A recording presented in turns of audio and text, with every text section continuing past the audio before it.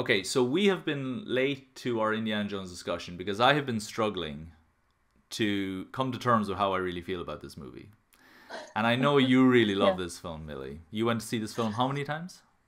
Yeah, I saw it twice, and I was almost going to see it three times if I had enough money.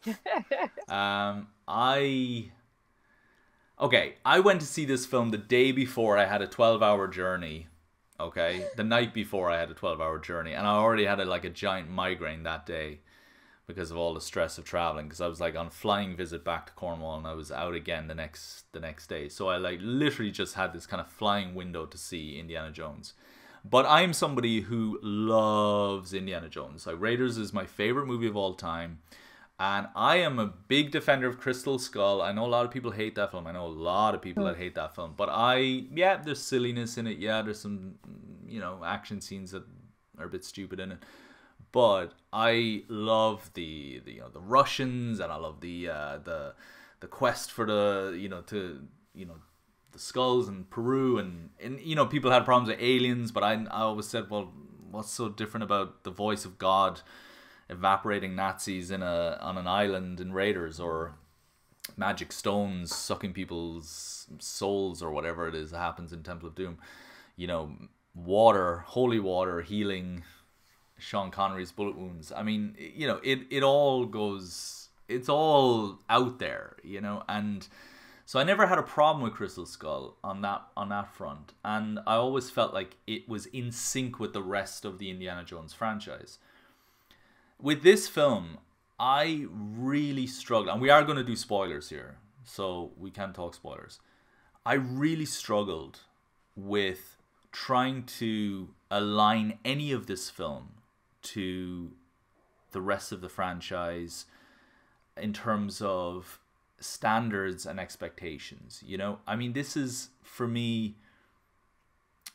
It just didn't do it. It just didn't do it for me. I hmm. loved. I love the opening what 20 minutes? Um de-aged indiana jones you know in the rain and the storm and the, the train. Yeah. i thought that was amazing. Like i loved all that. Um but even then it felt a little weird to me because it was like they're looking for this spear but it turns out the spear is a is a is a forgery. But it doesn't matter actually because there's a better treasure over here the dial of destiny. And it just it felt like I was thinking to myself, okay, that spear is obviously going to come back later on. Never did. And then, hmm. and I was thinking, did you just stumble upon the dial of destiny on this train? Like that, that, that feels a bit strange to me. It feels like you know everyone should have just been after this thing. Like that's always the thing in an Indiana Jones movie. He's always after this thing. It's you know there's a there and it just felt like they tripped over the dial and were like, oh look, it's this thing. Let's pocket this. You know. And so that even then that opening scene felt very strange to me. But the the overall adventure, I thought I just found it underwhelming. I found it um, like they're going to Sicily and waiting for the tourists to leave.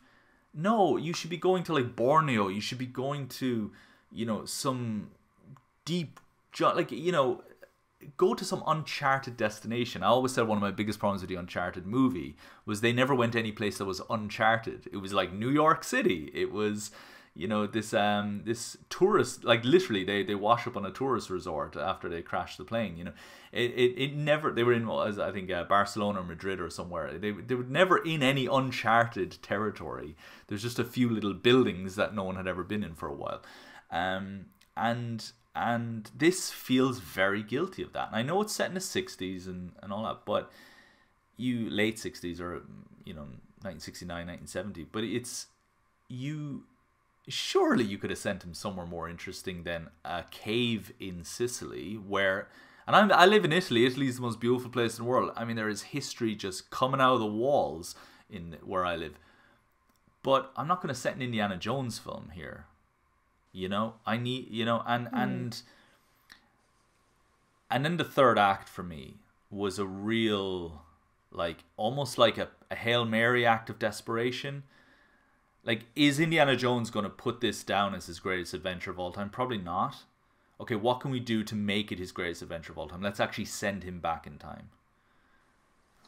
You know and i just thought Yeah, mm, like really, like he's gone back. I know, and I know holy water, healing bullet wounds, voice of God evaporating Nazis in an island. I know all of that can be considered just as crazy. Mm. But I kind of feel like the whole point of Indiana Jones is he doesn't actually get to see history. He is a student of history. I don't hate the idea that he gets to go back in time and actually create his own contribution to history because it's it's he's the reason the dial gets completed, isn't it? Um. Thanks so much for watching our video, everybody. We really hope you enjoyed it. You can like us and subscribe to us over here on YouTube. And if you want to hear more of this conversation, head over to Spotify, Apple, places like that for a much longer version. But for now, YouTube thinks you'll uh, you'll like these ones. They look pretty good. I, re- I reckon you should check it out, especially that top one. Ooh, nice.